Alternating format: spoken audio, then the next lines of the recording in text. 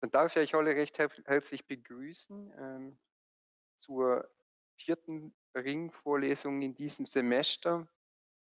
Äh, ich freue mich, dass alle wieder da sein ähm, und leider eben virtuell aufgrund der Lage. Ich freue mich aber heute ganz besonders, äh, Katharina Roggenhofer begrüßen zu dürfen.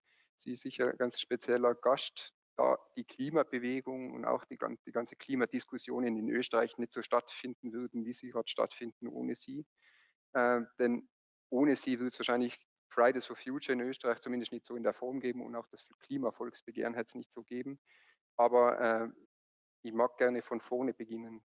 Katharina Roggenhofer wurde 1994 in Wien geboren und hat Zoologie an der Universität Wien studiert und Nachhaltigkeits- und Umweltmanagement in Oxford. 2018 war sie eben bei der Klimakonferenz in Katowice dabei als Praktikantin für die UNFCC ähm, tätig und hat eben dort Inspiration gefunden, die Fridays for Future nach Österreich zu holen mit anderen Aktivistinnen aus Österreich und, und ähm, ähm, Aktivistinnen der Fridays for Future äh, aus dem Ausland. 2019 hat sie dann die Leitung vom Klimavolksbegehren übernommen und das Klimavolksbegehren ähm, durchgeführt, äh, das ja sehr erfolgreich war mit über 400.000 äh, Unterschriften. Und durch diese Aktivitäten habe ich gestern bei der Recherche noch herausgefunden, das will ich nicht vorenthalten, hat sie auch die Auszeichnung Österreicherin des Jahres erhalten. Und äh, das ist eben die Preisträgerinnen, die, die den Titel erhalten ähm, haben eben auf den Gebieten Wissenschaft, Wirtschaft oder Humanität besondere Verdienste ähm, äh, gemacht. Und last but not least, was glaube ich auch sehr wichtig ist, ist, sie hat ein Buch rausgebracht, äh, wer jetzt ein bisschen früher schon eingeschaltet hat, hat die Diskussionen eh mitgekriegt. Ändert sich nichts, ändert sich alles. Und das ist, glaube ich, im Juni erschienen, diesen Jahres. Also es ist wirklich sehr aktuell, es ist leicht und äh, verständlich zum, äh, geschrieben. Es ist voller Fakten und wirklich auch mit persönlichen Einblicken früher. Also ich bin es selber noch nicht ganz durch, aber ich habe es jetzt wirklich genossen, zu lesen und würde es jedem ans Herz legen, äh, den die Thematik interessiert. Auch wenn der Titel eigentlich schon alles sagt, ändert sich nichts, ändert sich alles, ähm, will ich Katharina Roggenhofer nicht jetzt schon wieder entlassen und ich freue mich ganz besonders auf ihren Vortrag und dann auch sicherlich äh, auf eine sehr spannende Diskussion im Anschluss äh, wo eben ihr gerne wieder Fragen stell, stellen könnt, äh, wie gewohnt. Jetzt gebe ich gerade noch der Katharina die Rechte, dass sie die Folien teilen kann.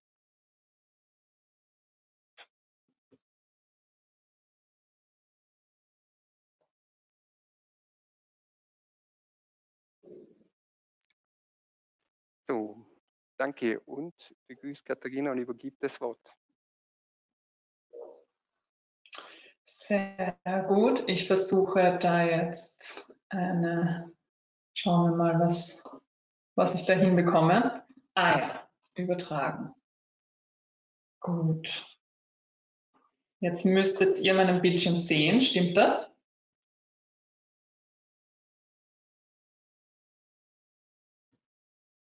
Wenn sich niemand meldet mit Gegenteiligen, dann denke ich mal, ihr seht ihn. Funktioniert. Super. Ähm, ja, danke, dass ich heute da sein darf, auch wenn es leider nur virtuell ist. Ähm, ich freue mich extrem, heute mit euch zu reden über die Klimakrise, die Klimabewegung, aber vor allem auch politische Maßnahmen, die gesetzt werden müssen und wie man aktiv werden kann, weil das ist eher meine Spezialität als die wissenschaftliche Seite. Ähm, ändert sich nichts, ändert sich alles, ist der Titel vom Buch und sagt eben schon, ähm, wo wir hinsteuern, wenn wir nichts tun. Es wird aber heute auch darum gehen, wo wir hinsteuern können, wenn wir etwas tun. Nämlich, ähm, wir haben jetzt die Entscheidung, wir können entweder in die Klimakrise oder sogar eine Klimakatastrophe stolpern oder eine lebenswerte, klimafitte Zukunft miteinander gestalten. Ähm, und dass das auch eine politische Entscheidung ist, ähm, das will ich auch euch nicht vorenthalten und das wissen sicher auch sehr viele von euch schon, die diese Ringvorlesung besucht haben. Ich werde aber nichtsdestotrotz mit ähm, wissenschaftlichen Fakten beginnen, nicht weil ich aus der Wissenschaft komme, sondern weil sie für mich eigentlich einen Punkt ausgelöst haben, wo ich aktiv geworden bin, nämlich 2018, wo der Klimabericht rausgekommen ist ähm, von der UNFCCC, also vom IPCC, also dem Konsortium an Klimawissenschaftlerinnen und Klimawissenschaftlern, die zu verschiedenen Themen Berichte ähm, und Sachstandsberichte herausgeben. 2018 ist eben der Special Report entstanden zu dem Unterschied zwischen 1,5 und 2 Grad. Warum ist das so wichtig? Weil im Pariser Klimaabkommen 2015 sich die Staaten eigentlich darauf geeinigt haben, die Erderhitzung auf 2 Grad, aber besser 1,5 Grad zu beschränken. Und eben Inselstaaten wollten da vor allem wissen, was ist denn dieser Unterschied? Das klingt ja nicht so viel, viel 0,5 Grad, was kann das schon sein? Möglicherweise weiß ich nicht einmal, ob es morgen 0,5 Grad wärmer ist oder kälter ist, als es heute war. Also spüre ich das wirklich? Bei Inselstaaten ist es tatsächlich ein Thema, das wahrscheinlich ähm, über das Überleben oder Nichtleben auf der Insel zum Beispiel, ähm, auf der sie leben, ähm, entscheiden wird. Und dieser Sachstandsbericht ähm, 2018 hat gezeigt, dass sogar für Wissenschaftlerinnen und Wissenschaftler es überraschend war, wie stark der Unterschied ist zwischen diesen ähm, zwei Limits.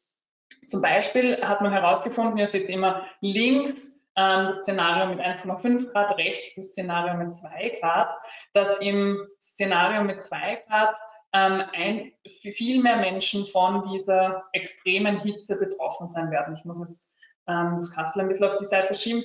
2,6 mal mehr Menschen werden global mindestens einmal alle fünf Jahre von ähm, extremer Hitze betroffen sein werden. Das bedeutet aber nicht nur extreme Hitze wird zunehmen, sondern auch ein Vielfaches an Extremwetterereignissen überhaupt.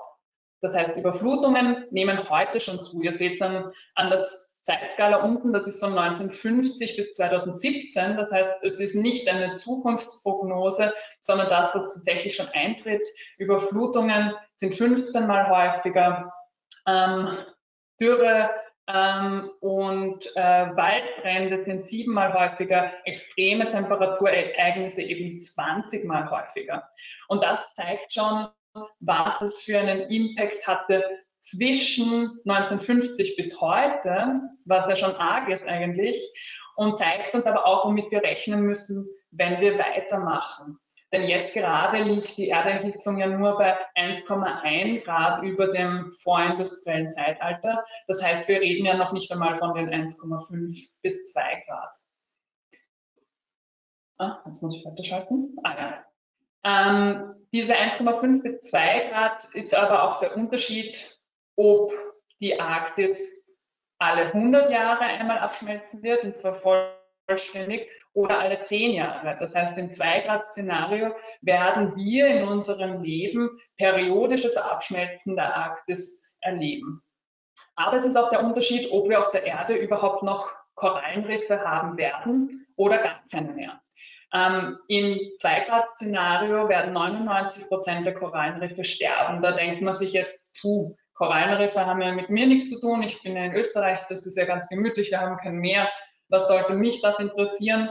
Ähm, aber Korallenriffe sind so ein bisschen wie der Regenwald des Meeres. Das sind tatsächlich die Orte, wo die Biodiversität ähm, quasi floriert. Ganz viel Brutstätten von Fischen, aber auch anderen Meereslebewesen sind dort. Das heißt, die Vielfalt, die es im Meer gibt, gibt es auch aufgrund von Korallenriffen. Das heißt, das hat einen riesigen Effekt auf unsere Meere. Aber, und das ist das, was mich, was, was mich auch überzeugt hat oder was viele in der Klimabewegung so ähm, mit Angst erfüllt, ist, dass es sogenannte Kipppunkte gibt. Links seht ihr den Permafrostboden. Es wird viel mehr Permafrostboden auftauen unter dem 2-Grad-Szenario. Ähm, Permafrost sind durchgehend gefrorene Böden, die zum Beispiel in Gletscherregionen vorkommen. Es gibt auch welche in Österreich, aber vor allem in Sibirien zum Beispiel gibt es ganz große Flächen von Permafrostböden. Wenn die auftauen, wird Methan freigesetzt. Methan ist sehr klimawirksames Treibhausgas, noch wirksamer auf kurze Zeit gerechnet als CO2 heizt dann wieder quasi die Klimaerwärmung an. Es wird wärmer, mehr Permafrostboden schmilzt, mehr ähm, Methan geht in die Atmosphäre. Das heißt, das sind solche Rückkopplungsprozesse, positiv beschleunigt ähm, dass die Klimakrise, aber auch eben die arktische Eiskappe, die abschmilzt, wo ich vorher schon erwähnt habe, das führt auch dazu, dass die weiße Fläche auf der Erde abnimmt. Weniger weiße Fläche heißt, mehr Wärme wird absorbiert statt abgestrahlt, es wird wärmer etc. Das heißt, von diesen Prozessen, von diesen Kettenreaktionen oder Kipppunkten gibt es mehrere auf der Welt. Vielleicht habt ihr davon schon einige kennengelernt, auch in der letzten Vorlesung. Für mich war es nur ein Punkt, wo ich wirklich ähm, aufgewacht bin, weil diese Rückkopplungsprozesse und diese Kipppunkte viel wahrscheinlicher werden im Zwei-Grad-Szenario.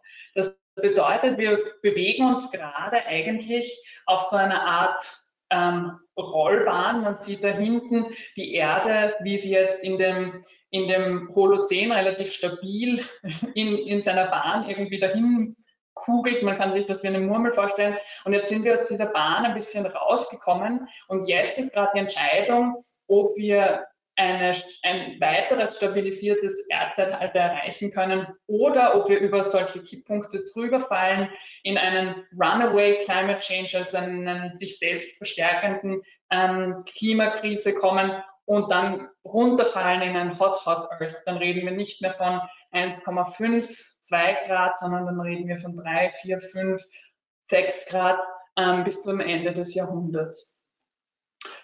Warum sage ich das jetzt alles? weil es einen riesen Unterschied macht, für welche Zukunft wir uns entscheiden. Ähm, und wenn man sich die jetzigen Projektionen anschaut, ähm, ist das Bild nicht besonders großig. Nach der Klimakonferenz jetzt in Glasgow, der 26. COP, ähm, hat man, hat, haben sich verschiedene Institutionen ausgerechnet, wo man hinkommt, wenn man die jetzig gesetzten Policies weiterverfolgen würde, wo man in der Temperaturkurve hinkommt, wenn man alle Versprechen, die die Staaten gegeben haben, mit einberechnet. Und auf der rechten Seite seht, seht ihr, wo wir dann landen werden. Eben die jetzigen Policies bringen uns auf eine Erwärmung von ungefähr drei Grad. Die ähm, versprochenen äh, Maßnahmen, die gesetzt werden, wenn sie gesetzt werden, die sind ja noch nicht einmal gesetzt, würden uns auf ungefähr 2,4 Grad bringen. Optimistische ähm, Aussichten gibt es auch, also wenn man quasi alles mit einbezieht, auch die Net Zero Targets, selbst wenn sie eben, wenn jemand sagt, wir werden 2050 klimaneutral, selbst wenn das noch nicht mit Maßnahmen unterfüttert ist, wenn man all das mit einberechnet, dann sind wir trotzdem näher an den 2 Grad. Und in Gelb und in Grün seht ihr den Verlauf für ein 2 Grad konsistentes Ziel oder 1,5 Grad. Das heißt, wir sind da weit davon entfernt, noch immer, selbst wenn wir die Versprechen einhalten, die wir gegeben haben.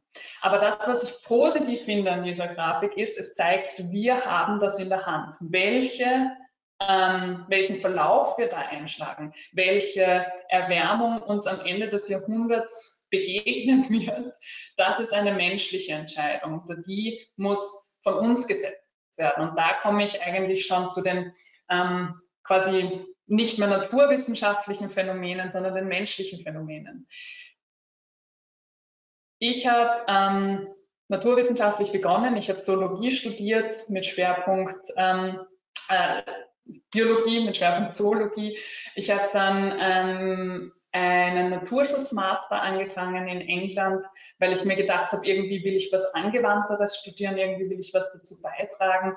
Ich habe mir damals auch angeschaut, wie sich die Lebensräume von Tieren verschieben mit der Klimakrise. Das heißt, ich habe schon sehr viele Zahlen, Daten, Fakten über die Klimakrise gewusst. Und trotzdem hat es länger gedauert, bis ich aktiv geworden bin. Für mich war der erste Schritt die Erkenntnis, dass viele der Fakten, die wir schon haben in der Wissenschaft, überhaupt nicht in der Politik ankommen. Das heißt, diese ganzen Projektionen, aber auch ähm, die Lösungen der Klimakrise, nicht nur die Folgen der Klimakrise. Vieles liegt schon auf dem Tisch, vieles wurde einfach von der Politik nicht aufgegriffen. Und für mich war das der erste Punkt des Ärgernisses, wo ich mir wirklich gedacht habe, puh, da muss man jetzt irgendwas tun irgendwie müssen wir an die Politik herankommen. Und als ersten Schritt habe ich mir gedacht, mache ich ein Praktikum bei der Klimarahmenkonvention der Vereinten Nationen. Das sind die, die jedes Jahr die Klimagipfel organisieren. So wie eben jetzt der letzte in Glasgow. Ich war damals 2018 am Klimagipfel in Katowice in Polen und ähm, für mich war das irgendwie so, bevor ich hingefahren bin, war das der Ort, wo mutige Klimapolitik entschieden werden sollte. Weil wo, wenn nicht dort, wo über 190 Staaten zusammenkommen, ähm, kann wirklich etwas vorangehen, habe ich mir gedacht. Aber dann war ich dort und habe gesehen, wie groß die Diskrepanz zwischen dem ist, was gemacht werden sollte und dem, was wirklich weitergeht auf so einer Konferenz. Es ging dann um sehr technische Details, ähm, wie wem welche Emissionen angerechnet werden, ob der Flugverkehr überhaupt irgendjemandem angerechnet wird, wie ähm, Emissionszertifikate funktionieren, aus dem Kyoto-Protokoll übernommen werden etc., ob irgendeine Datenbank eine Suchfunktion haben soll. Also sehr, sehr technische Details. Und vor den Konferenzsälen saßen Aktivistinnen und Aktivisten aus der ganzen Welt, aus Inselstaaten, aus Ländern des globalen Südens.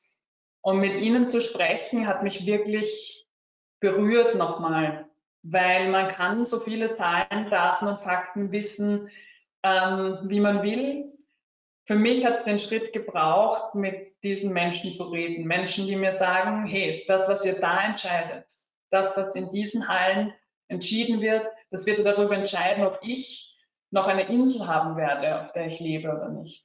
Das wird entscheiden, ob ich aus meiner Heimat flüchten muss. Viele aus Ländern des globalen Südens haben gesagt, heute flüchten schon Leute von uns vom Land weg in die Stadt, weil sie vor Ort nichts mehr anbauen können, weil ihnen die Felder wegsterben. Und dieser Bericht 2018 hat noch quasi eine, eine Schaufel draufgelegt, weil er gezeigt hat, dass der Unterschied zwischen 1,5 und 2 Grad hunderte Millionen mehr Menschen bedeuten, die von Armut betroffen sein werden, hunderte Millionen mehr Menschen, die flüchten müssen. Und das in Kombination hat mir einfach gezeigt, dass wir hier nicht über ein ökologisches Problem reden, sondern über ein menschliches Problem, über ein, ein Problem, ein politisches Problem, das wir aber lösen können. Ich habe dann mit zwei Freunden gemeinsam beschlossen, ähm, einen Schritt weiter zu gehen, aus unserer Komfortzone rauszugehen. Wir haben vorher noch nie etwas derartiges gemacht, aber wir haben uns zum Schritt entschlossen, ähm, eine Bewegung nach Österreich zu holen, weil ich gesehen habe oder wir alle gesehen haben, dass Aktivismus das ist, was es jetzt braucht. Menschen, die aufstehen, die dafür ein, sich einsetzen, dass die Veränderungen, die wir brauchen, auch passieren. Und dann haben wir am 21. Dezember die erste Demo am Heldenplatz angemeldet 2018. Es war furchtbar kalt. Wir haben alle gefroren. Ähm, wir haben auch noch die großartige Idee gehabt, das sechs Stunden lang zu machen. Ähm, und Gott sei Dank hatten ein paar Leute Thermoskannen mit. Ähm, das hat sehr geholfen. Jedenfalls drei Monate später ist dieses Bild aufgenommen worden. Am 15.03.2019 war dann der erste weltweite Klimastreik in fast allen Ländern der Welt sind zu diesem Tag Menschen auf die Straße gegangen. Das macht den Fridays for Future Protest zu dem globalsten Streik überhaupt. Und Teil dieser Geschichtsschreibung zu sein und über diese Köpfe, ihr seht es ja jetzt selber, ich bin da übrigens rechts unten, die mit den roten Haaren da bei der Bühne, ähm, über diese Köpfe zu schauen und zu sehen, da setzen sich gerade viele Leute ein. Es stehen 35.000 Leute waren wir damals im Heldenplatz. Es stehen so viele Leute auf, um sich einzusetzen. Das hat mir enorme Kraft gegeben. Und wofür müssen wir uns einsetzen? Dass sich die Klimapolitik ändert. Links seht ihr jetzt einen ähm, Pfad zum Netto-Null-Ziel, wenn wir 2040 Klimaneutralität erreichen wollen. Das ist der türkise Pfad ähm, dann müssen die Treibhausgasemissionen eigentlich relativ schnell sinken. Auf der rechten Seite seht ihr das, was bisher geschah, nämlich wenig. Ähm, Österreich hat seit 1990 nicht geschafft, die Treibhausgasemissionen zu senken. Wir sind damit unter den Schlusslichtern der Europäischen Union. Muss ich eins weiterschalten? Wir sind damit unter den Schlusslichtern der Europäischen Union. Nur vier andere Länder haben es auch nicht geschafft, ihre Treibhausgasemissionen seit 1990 zu senken. In grün seht ihr da in der Mitte den durchschnittlichen, äh, die durchschnittliche Abnahme an Treibhausgasemissionen. Das heißt, im Durchschnitt hat jedes europäische Land ungefähr geschafft, die Treibhausgasemissionen um 20 Prozent zu senken. Österreich nicht. Und dann geben wir uns sehr oft als Klimaschutzvorreiter, als Umweltmusterland äh, oder was man auch immer hört von Politikerinnen und Politikern. Das stimmt schlicht und ergreifend nicht. Wir haben da einige Hausaufgaben zu machen und deswegen ärgert es mich persönlich immer, ähm, wenn ich auf solchen Klimakonferenzen dann, wie jetzt diese in Glasgow, sehe, wie ein Bundeskanzler sich hinstellen kann und sagen kann, wir tun eh schon alles, jetzt müssten mal Indien und China. Ähm, Indien und China haben übrigens auch Verantwortung, darüber können wir nachher gerne noch diskutieren, aber wir haben unsere Hausaufgaben eindeutig auch nicht gemacht. Aber was bräuchte es jetzt, um diese Emissionen, so wie ich es gesagt habe, runterzubringen, bis 2040 klimaneutral zu werden? Ihr müsst euch das alles nicht merken. Ich werde jetzt ein bisschen darüber reden, was es für Lösungen ähm, geben könnte. Und ähm, einfach nur, damit ihr die Tragweite dieses Klimaproblems irgendwie ähm, auch sehen könnt. Das ist übrigens keine, ähm, keine Liste äh, mit allem, was es braucht. Natürlich braucht es noch viel mehr darüber hinaus, aber es deckt für mich so ungefähr das ab, was jetzt essentiell wäre. Auf der einen Seite brauchen wir eine Energiewende. Was heißt das? Wir müssen ähm, statt Strom und Wärme aus fossilen Energien zu beziehen, das aus erneuerbaren Energien machen. Ähm, Im Strombereich heißt es eigentlich mehr oder weniger eins zu eins Erneuerbare umstellen, Grünstrom beziehen. Im Wärmebereich ist es ein bisschen komplizierter. Wir haben in Österreich noch immer 600.000 Ölheizungen und eine Million Gasheizungen. Ähm, und das stellt uns vor die Herausforderung, dass alle diese Heizsysteme natürlich getauscht werden müssen, wenn wir es ernst meinen mit Klimaneutralität 2040. Das heißt, es braucht ähm, natürlich Sanierungen, es braucht einen Heizkesseltausch in vielerlei Hinsicht, es braucht erneuerbare Wärme. Was es aber darüber hinaus braucht, neben Strom und Wärme und Gebäudebestand, ähm, sanieren und eben neue Heizsysteme einbauen, ist eine Verkehrswende. Das heißt, wir müssen, in Österreich hat ähm, Verkehr den größten CO2-Fußabdruck. Ein Drittel unserer Emissionen ähm, sind aus dem Verkehr. Das heißt, das ist das große Sorgenkind, da müssen wir viel machen. Das heißt, wir müssen einerseits von individueller Mobilität mehr auf öffentlichen Verkehr setzen, öffentliche Verkehrsmittel ausbauen, Zug, Bahn, Bus etc. so viele Menschen wie möglich mit so wenig Ressourcen wie möglich von A nach B bringen. Aber natürlich braucht es da verschiedene Lösungen für Stadt und Land und auch darüber können wir gerne später diskutieren. Es gibt schon ähm, sehr viele Optionen, wie man, wie man da ähm, äh, klimafreundliche Lösungen für die verschiedenen Gebiete finden kann.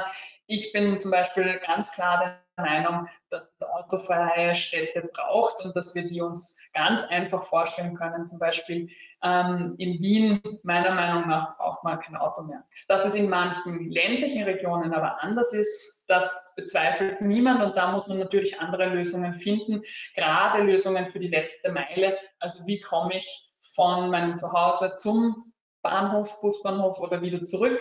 Ähm, und auch dafür gibt es schon gute Lösungen. Aber es braucht auch, weil wenn wir sagen, wir haben das Pariser Klimaabkommen unterzeichnet, eigentlich haben sich da viele Staaten darauf geeinigt, ähm, dass wir da jetzt die Erderhitzung auf 1,5 Grad beschränken. Das bedeutet aber im Umkehrschluss auch, wir haben nur noch ein gewisses CO2-Budget zur Verfügung, also ein Budget an Emissionen, die wir jetzt noch in die Atmosphäre, ähm, in die Atmosphäre einbringen dürfen, um dieses Limit nicht zu überschreiten.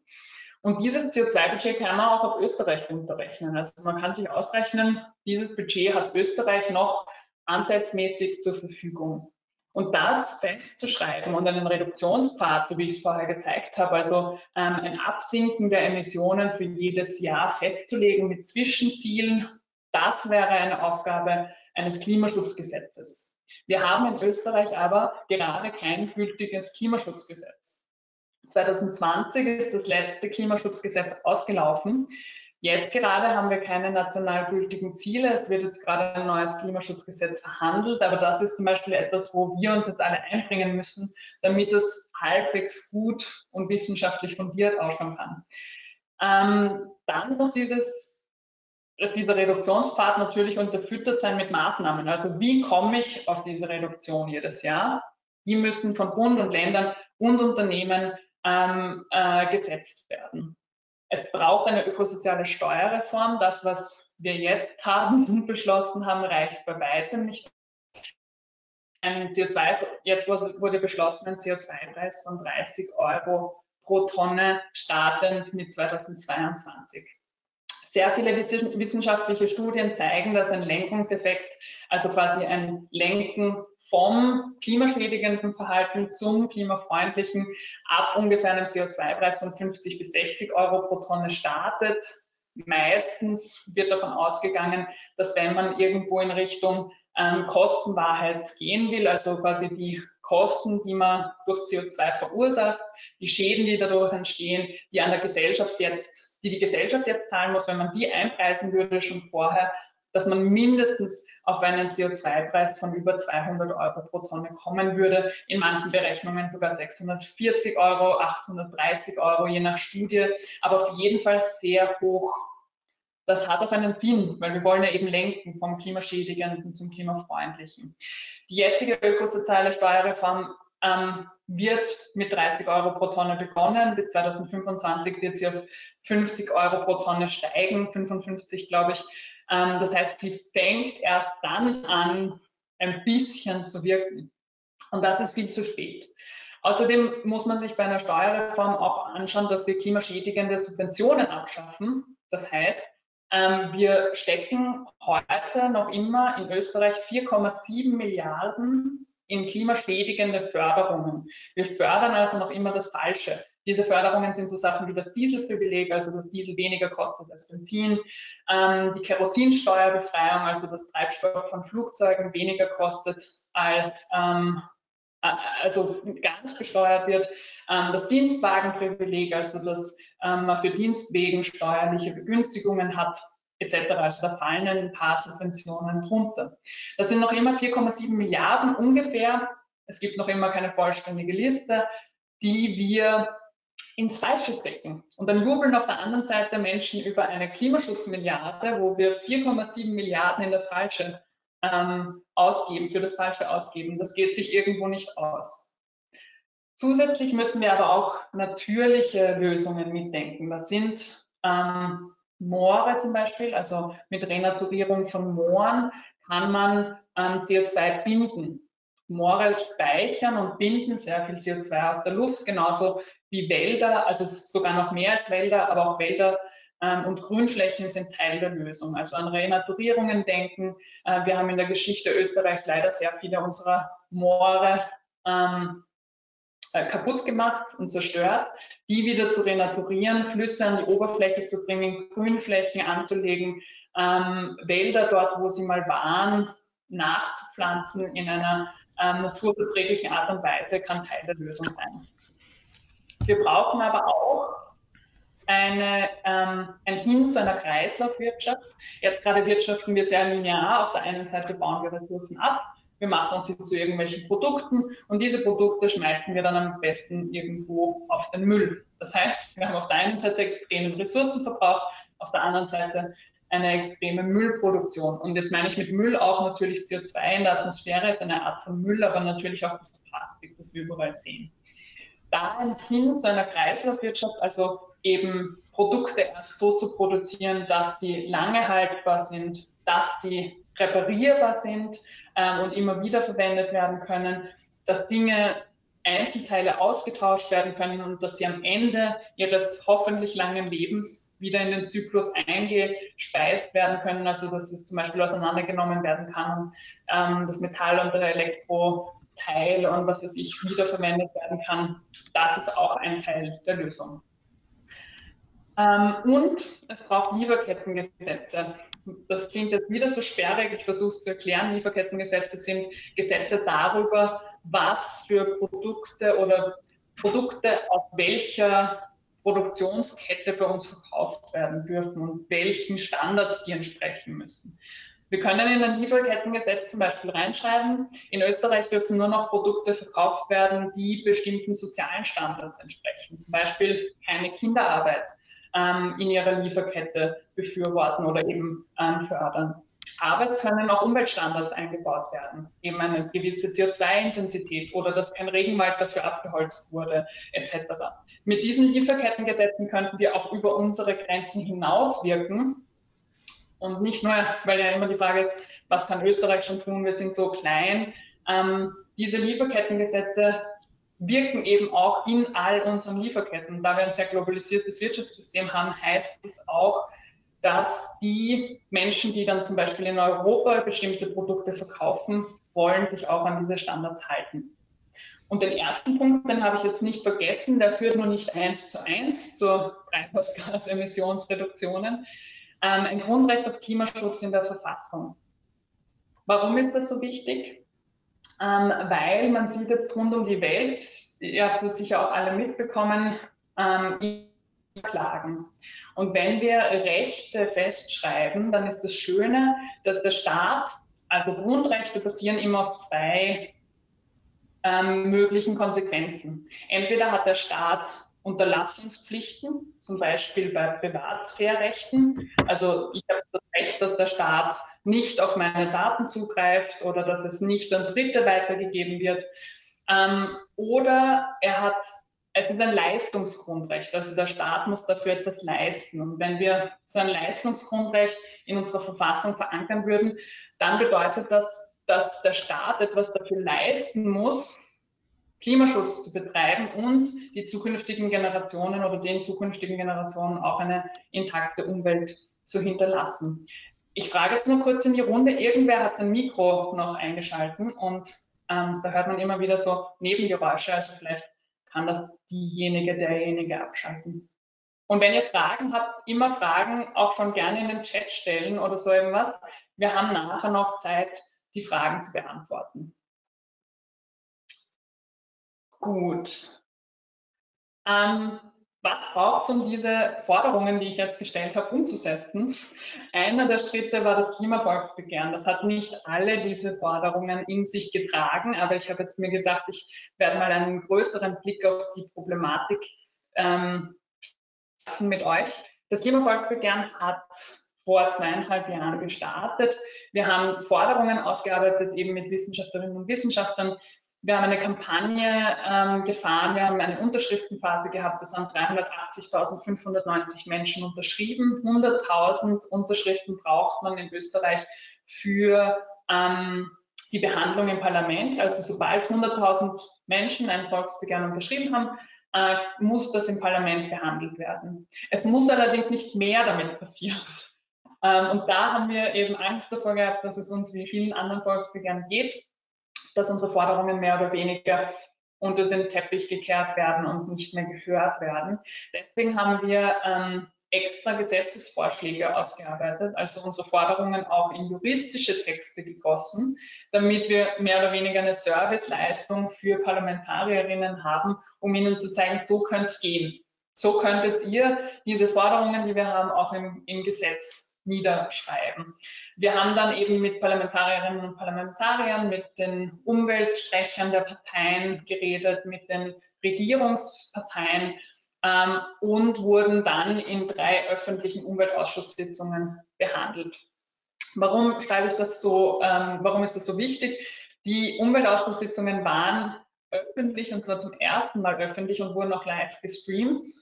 Ihr habt es sicher alle mitbekommen, es gibt im Parlament verschiedene Ausschüsse. Zum Beispiel der Ibiza-Untersuchungsausschuss ist so einer, der ist wahrscheinlich der bekannteste. Aber zu jedem Thema, das die Politik behandelt, gibt es einen Ausschuss. Also es gibt einen Umweltausschuss, es gibt einen Energieausschuss, es gibt einen Verkehrsausschuss, es gibt einen Sozialen- und Gesundheitsausschuss etc. Das sind mehr oder weniger verkleinerte Parlamente. Also sitzt von jeder Partei sitzen ähm, in der Stärke der Partei Menschen da drinnen, aber nicht der ganze Nationalrat. Und diese Ausschusssitzungen sind normalerweise ohne Öffentlichkeit. Das heißt, da können wir als Bürgerinnen und Bürger, die die Politikerinnen gewählt haben, nicht zuschauen. Wir haben es aber geschafft, dass die Behandlung des Klimavolksbegehrens, da es ein Volksbegehren war, das erste Mal öffentlich abgehalten wurde. Und am 26.03. wurde dann ein Entschließungsantrag durchgebracht im Parlament, der von ÖVP, NEOS und Grünen unterstützt wurde und der einige unserer Forderungen enthält. Nicht alle Forderungen, aber einige von unseren Forderungen stehen da drinnen. Ähm, und vielleicht noch kurz, ähm, was ist überhaupt ein Entschließungsantrag? Ähm, ich gehe da wieder kurz zurück. Ein Entschließungsantrag ist ein Antrag an die Bundesregierung. Also das Parlament beschließt, da steht drinnen, die Bundesregierung wird aufgefordert, XYZ zu beschließen. XYZ in dem Fall sind ein paar unserer Forderungen. Und jetzt ist die Phase, wo wir mehr oder weniger darauf warten, natürlich nicht nur warten, sondern wirklich auch was aktiv dazu beitragen als Volksbegehren, dass das auch wirklich in Gesetze gegossen wird und umgesetzt wird, weil da sind wir noch ziemlich weit hinten. Ich will jetzt auf ein paar Ausreden eingehen, die mir so ein bisschen auf die Nerven gehen, wenn es um ähm, politischen Aktivismus, aber auch wenn es um ähm, Zivilbevölkerung und Engagement geht. Das eine ist ähm, der Satz, wir müssen die Menschen mitnehmen. Die Menschen sind noch nicht dabei, wir können Klimaschutz nicht machen, ähm, weil quasi die Menschen sind zu dumm dafür. So habe ich das immer aufgefasst. Und das stimmt nicht. Bei allen Umfragen, inklusive Umfragen, die während Corona gemacht wurden, erst vor kurzem wieder eine, wird die Klimakrise als die dringendste Krise unter der österreichischen Bevölkerung wahrgenommen. Selbst wenn man fragt nach bestimmten Maßnahmen, die gesetzt werden sollen, sind meistens mehr als eine Mehrheit dafür. Links oben setze zum Beispiel, sollte die Regierung ihrer Meinung nach mehr für Klimaschutz tun, 81 Prozent dafür. Links unten soll die Regierung einen klaren Plan zur Reduktion der CO2-Emissionen vorlegen, also diesen Reduktionspfad, den ich, ähm, den ich vorher vorgestellt habe, 87 Prozent dafür. Ähm, sogar rechts unten die Steuerreform, selbst wenn man es negativ formuliert, klimaschädigendes Handeln sollte bepreist werden, sind 72 Prozent der Menschen dafür. Da, wo man normalerweise sagen würde, naja, aber neue Steuern könnt ihr ja alles nicht einführen, die Mehrheit der Menschen, nicht einmal nur über 50 Prozent, fast drei Viertel der Menschen sind dafür, das zu tun. Das hat zu der ähm, Schlagzeile auf der rechten Seite geführt. Kurz vor unserem Antrag hat die Kronenzeitung getitelt, Regierung schützt das Klima zu wenig.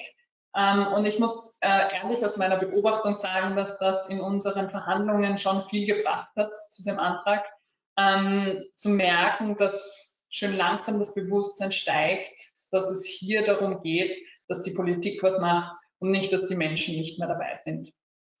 Ein weiteres Thema ist, Klima und soziale Themen gegeneinander auszuspielen. Da habe ich äh, sinnbildlich quasi eine Grafik aus einer Oxfam-Studie, ähm, wo gezeigt wird, dass die reichsten 10 Prozent ähm, dafür verantwortlich sind, über, über, für über 50 Prozent der Emissionen verantwortlich sind. Hingegen sind die ärmsten 50 Prozent nur für ungefähr 10 Prozent der Emissionen ähm, verantwortlich. Und das zeigt, dass die, die am wenigsten dazu beitragen, nämlich die Ärmsten in unserer Gesellschaft, das gilt übrigens global wie national, das gilt auch in Österreich, gibt es eine ähnliche Verteilung, sie ist nicht ganz so krass, aber sie ist sehr, sehr ähnlich ähm, aufgestellt, dass die, die am wenigsten dazu beitragen, dass die Klimakrise existiert, meistens die sind, die am meisten betroffen sind. Ich habe vorher schon von, von den Ländern des globalen Südens geredet, Inselstaaten etc. Ähm, aber auch in Österreich die, die sich keine gut gedämmten Wohnungen leisten können, die, die vielleicht unter freiem Himmel arbeiten müssen, in der Landwirtschaft, die Erntehelferinnen und Erntehelfer sind, die, die am Bau arbeiten müssen bei 36 Grad in der Sonne etc. Ähm, das sind meistens die, die am meisten betroffen sind und am wenigsten dazu beitragen. Das heißt, das gegeneinander auszuspielen, finde ich immer ein bisschen unfair und man muss auch immer hinhören, wer das gerade macht, weil meistens sind es die Menschen, die ähm, in der Politik schon in den letzten 40 Jahren nichts in der sozialen, also nichts für die Sozialpolitik getan haben, äh, die dann sagen, naja, jetzt müssen wir aber aufpassen, bei Klimapolitik müssen wir irgendwie einen, einen Schritt zurückgehen, weil das ähm, sonst soziale Verwerfungen mit sich bringt. Was nicht heißt, dass man nicht bei allen Maßnahmen darauf achten müsste. Zum Beispiel bei der vorher erwähnten ökosozialen Steuerreform geht, ist der soziale Teil schon ganz wichtig, weil man hat gesehen in anderen Ländern, wenn man nur einen CO2-Preis einführt, dann belastet das gering verdienende Haushalte prozentuell zu ihrem Einkommen mehr als reiche Haushalte. Das heißt, da einen Mechanismus wie eben jetzt zum Beispiel einen Klimabonus einzuführen, ist vollkommen gut und richtig und auch zum Beispiel ähm, äh, sozial äh, gering verdienende Haushalte zu unterstützen bei Heizkesseltausch etc. Das muss natürlich gemacht werden. Ich mag nur nicht, das gegeneinander auszuspielen, ohne Gegenvorschläge zu machen, weil das meistens einfach ein Bremsargument ist. Ein weiteres Argument, das sehr oft aus, ausgepackt wird, ist, dass das kostet so viel. Klimaschutz kostet so viel. Was? Das können wir uns nicht leisten, etc. Das Climate Change Center Austria, das CCCA, hat errechnet, wie viel wir jetzt schon mehr oder weniger in die Klimakrise stecken. Also was für Geld von uns, von unserem Steuergeld in die Klimakrise investiert wird, statt in Klimaschutz. Und das sind auf der einen Seite 8 Milliarden Euro, die wir ähm, für fossile Energieimporte ausgeben. Das heißt, die wir zum Beispiel an Saudi-Arabien, die wir an Russland und andere Länder zahlen, um fossile Brennstoffe nach Österreich zu holen. Das ist auch eine Art Wertschöpfungsverlust vor Ort, weil die 8 Milliarden werden nicht bei uns investiert, sondern eben nur bezahlt. 4 Milliarden, habe ich vorher schon gesagt, fließen ungefähr in klimaschädigende Subventionen. 2 Milliarden haben wir heute schon, geben wir heute schon für Klimaschäden aus.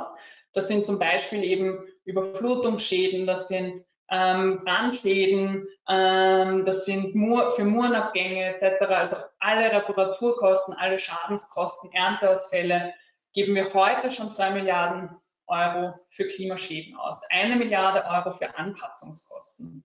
Das sind insgesamt 15 Milliarden Euro, die wir im Jahr 2020, also jetzt schon, in die Klimakrise investieren, also ins Weiterbringen dieser Klimakrise.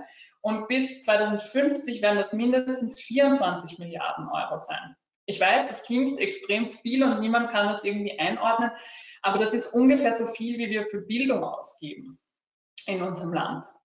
Und das ist schon absurd, Warum sollte das einfach, dieses Geld einfach quasi ins Falsche fließen, während wir dieses Geld auch nehmen könnten und in den Klimaschutz investieren? Zusätzlich kommen nämlich da auch noch dazu die Milliardenkosten, die drohen bei Klimazielverfehlung. Wir müssen nämlich, wenn wir unsere Klimaziele verfehlen, Zertifikate nachkaufen, das ist ungefähr in Milliardenhöhe, während die Kosten für die Klimawende, das hat ähm, das Wegener Center in Graz berechnet, ungefähr 4 Milliarden Euro pro Jahr kosten würden.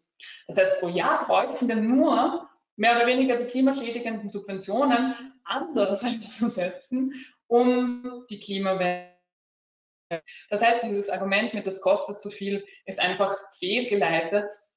Und mir geht im Diskurs auch auf, ab, worauf sich mein Buchtitel bezieht oder der Buchtitel ähm, vom, vom, vom, vom, vom Buch, das ich gemeinsam mit Florian Schlederer geschrieben habe, ähm, ändert sich nicht, ändert sich alles. Es wird am meisten kosten, nichts zu tun. Es wird, wir werden auf alles verzichten müssen, werden wir, wenn wir nichts tun und nicht handeln.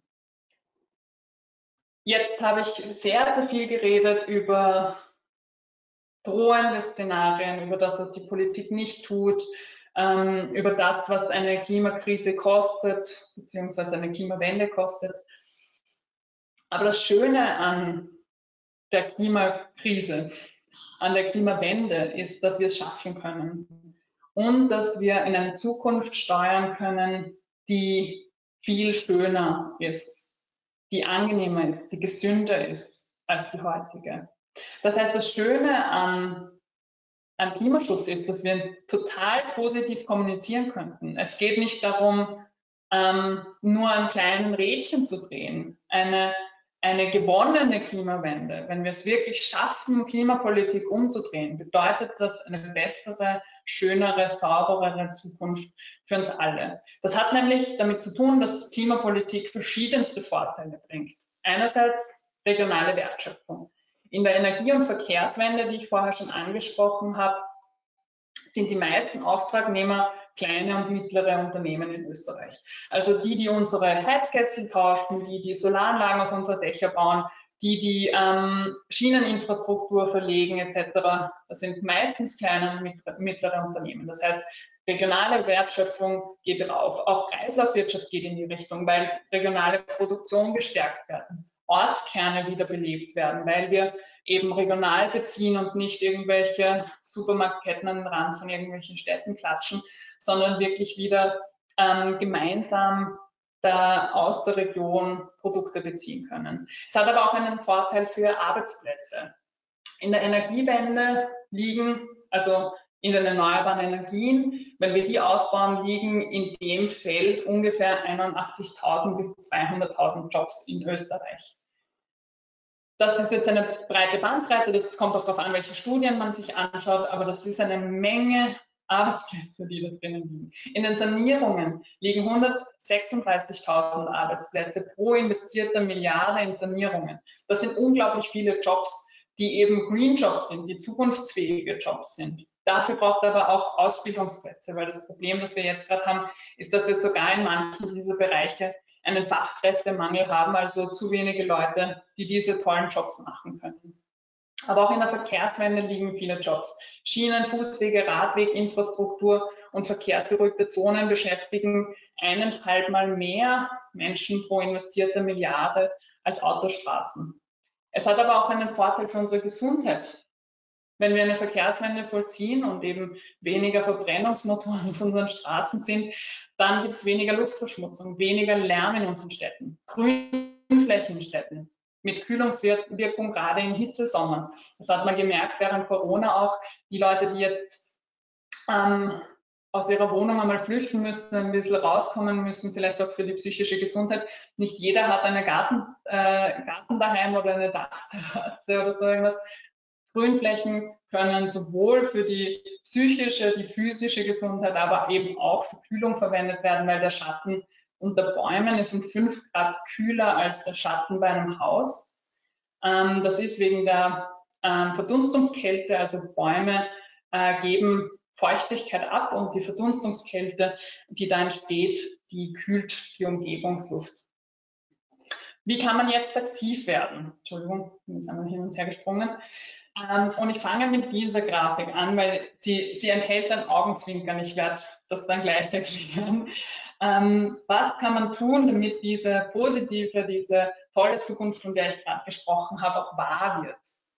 Ähm, und man hat auf der linken Seite Leute befragt, was sie denn fürs Klima tun könnten oder welche Maßnahmen was fürs Klima bringen. Und auf der rechten Seite sind äh, die Maßnahmen nochmal aufgereicht, aber mit der ähm, Intensität, wo sie wirklich was bringen.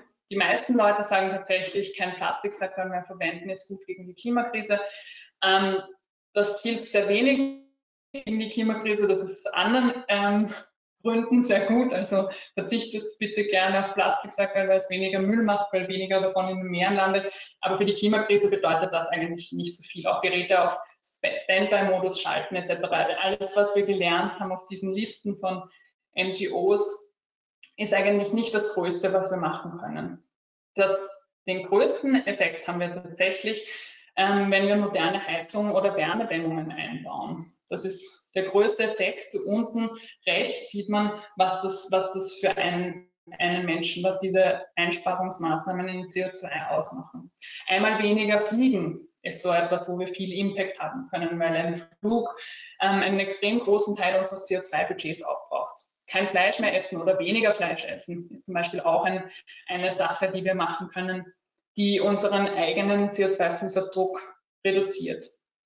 Aber, und ich habe ähm, schon darauf hingewiesen, dass das ein bisschen mit Augenzwinkern zu verstehen ist, viele dieser Sachen können wir nicht unbedingt alleine entscheiden. Ich lebe leb zum Beispiel in einer Mietswohnung in Wien und äh, ich kann nicht auf einmal ein, auf mein Dach eine Photovoltaikanlage draufbauen, nur weil ich lustig bin. Oder ich kann auch nicht entscheiden, ähm, dass jetzt mein Heizsystem ausgebaut wird, weil alle Wohnungen in diesem Haus mit Gas heizen. Das heißt, das ist tatsächlich etwas, was, wo die Rahmenbedingungen noch nicht passen, damit ich das überhaupt diese Entscheidung treffen kann. Auch weniger fliegen. Ich habe zum Beispiel in ähm, England studiert. Ich bin dort immer mit dem Zug hingefahren. Das war eine bewusste Entscheidung, weil ich mir gedacht habe, ich will eben diesen Schritt fürs Klima tun.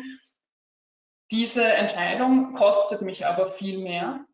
Ein Zug nach England kostet ungefähr drei bis viermal so viel wie ein Flug ähm, und dauert länger. Das heißt, auch da stoßen wir an Grenzen. Auch wo ähm, Züge und Busse hinfahren, entscheide nicht ich mit meinem Konsumverhalten. Das entscheidet die Politik. Ich entscheide auch nicht, wie viel Öl, Kohle und Gas noch importiert wird, das entscheidet die Politik. Was mich nämlich zum nächsten Bild bringt, und da will ich wieder zurückkommen auf den Aktivismus. Wir müssen uns auch dafür einsetzen, dass sich die Politik verändert, dass diese positive, saubere, lebenswerte Zukunft für uns überhaupt möglich ist und dass es uns möglich gemacht wird, sie zu leben. Weil wir leben jetzt gerade in einem sehr absurden System, wo klimafreundliches Verhalten nicht die Norm ist, weil man mehr zahlen muss, weil man mehr Zeit aufwenden muss, weil es dann auch bis zu einem gewissen Grad zum Privileg wird, weil ich muss es mir ja leisten können. Und klimaschädigendes Verhalten immer die Norm ist, das Go-To, das leichteste, das bequemste, das, wofür ich mich entscheiden kann. Diese Logik in unserem System müssen wir umdrehen, denn erst dann wird es allen Menschen möglich, sich überhaupt für die klimafreundliche Variante zu entscheiden. Und das zu ermöglichen, das ist die Aufgabe der Politik. Aber wir können unseren Teil dazu beitragen, indem wir uns zusammenschließen. Jede gute Klimaveranstaltung ähm, hat ja am Ende die Frage, was kann jeder Einzelne jetzt tun? Ähm, einzeln bleiben. Und ich würde gerne das äh, tatsächlich mitgeben. Ich glaube, sich zusammenzuschließen ist ein Teil der Lösungen. Das heißt, bei Bewegungen mitzumachen, bei Fridays for Future, beim Klimavolksbegehren, Volksbegehren zu unterschreiben, Petitionen zu unterschreiben, ähm, sich zu überlegen, wie man das nächste Mal wählt, sich in der eigenen Stadt zusammenzuschließen, in der Gemeinde, im Bezirk zum Bürgermeister zu gehen und zu fragen, was macht denn meine Gemeinde bitte für Klimaschutz? Wo sind wir 2040 klimaneutral? Briefe zu schreiben an Politikerinnen und Politikern, aber vielleicht auch, ähm, wenn äh, später mal irgendwie man arbeitet oder man einen Sommerjob hat oder was auch immer, ähm, im Unternehmen zum Chef gehen und fragen oder sich zusammenschließen und irgendwie darüber entscheiden, was tut denn unser Unternehmen für Klimaschutz? Wie können wir dazu beitragen zu dieser Klimawende? Also immer darüber nachzudenken, wo sind meine nächst größeren Hebel, mit wem kann ich da noch reden, wie kann ich mich einbringen. Das sind die Dinge, die wir alle tun können, um diese politischen Entscheidungen, die es jetzt braucht, und die aber viel zu wenig getroffen werden, die Maßnahmen, die viel zu wenig gesetzt werden, weil Politikerinnen und Politiker noch immer sehr viel reden, aber vom Reden wenig ins Tun kommen. Und das müssen wir mit beeinflussen. Ähm, und da helfen eben solche ähm, politischen Bewegungen und dort aktiv zu werden. Ähm, damit schließe ich schon und ähm, freue mich total, dass ich das heute mit euch teilen durfte und freue mich jetzt auf die Fragen und werde meinen Bildschirm jetzt mal nicht mehr teilen. Danke wenn ich es schaffe. Den Bildschirm geteilt lassen. Vielleicht äh, muss man sich auf eine Folie beziehen, da brauchen wir es nicht wieder hervorkramen. Danke okay. für den, für den ganzen äh, Vortrag ähm, ähm, und auch sehr an, an, anschaulichen Vortrag.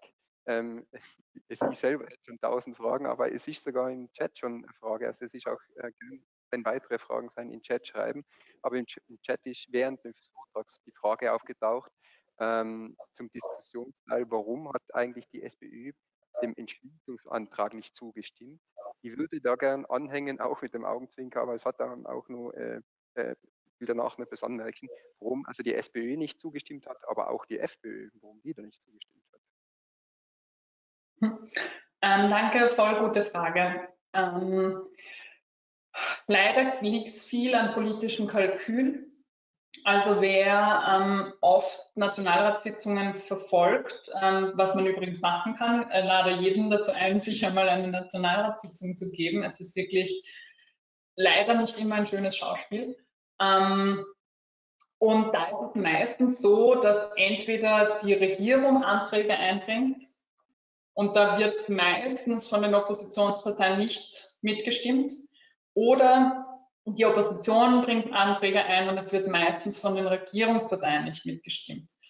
Das ist politisches Kalkül, weil eben die Regierungsparteien sich irgendwie nach vorne stellen wollen und irgendwie sagen wollen, sie haben die Ideen und deswegen stimmen sie bei den anderen nicht mit, aber die Opposition auch quasi ähm, einbringen will, manchmal auch als Aktionismus, aber manchmal auch als super guten Ideen etwas einbringen will, wo die Regierung dann aber nicht zustimmt, weil sie es quasi für sich verwenden will und selber dann einen Antrag stellt oder nicht oder in veränderter Form einen Antrag stellt.